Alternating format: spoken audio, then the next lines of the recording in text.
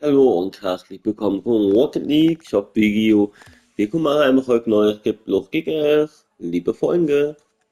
So, wir haben mal noch dieses Auto hier oben. Keine Ahnung, wie teuer das ist. Auf alle Fälle, wenn ihr das in Rocket League kauft, bekommt ihr das im Fortnite.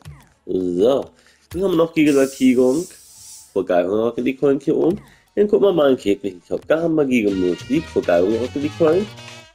Geld haben wir noch die Lackierung vor Geilung Rocket League Coin. Geld haben wir noch die Autoreifen vor 600 Rocket. Ja, nichts Besonderes. Geld haben wir noch, was gibt noch ein Autoform für 600 Rocket League Coin. Geld haben noch die Autoreifen, die animiert werden vor 900 Rocket Coin. Und dann haben wir noch dieses Namensschild. Keine Ahnung, wie teuer es ist, weil das besitze ich nämlich auch. So, dann gucken wir bei Eventsachen. Was gibt denn da noch? Immer noch Gagpool. Immer noch die Gagpool-Kopper schon. Hier geht noch Geilkage. Euro. Ja, Geilkage beim Sachen noch im Shop. Dann sind die wieder raus. Dann holt euch noch, falls ihr gar vom Bach Hamburg. So, weiter geht's.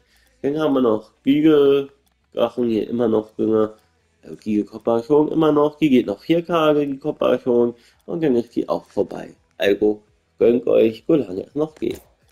So, dann haben natürlich dieses Paket hier immer noch, dieses Bange, besitze ich und ja, dann kann ich euch nicht sagen, wie teuer das Bange ist.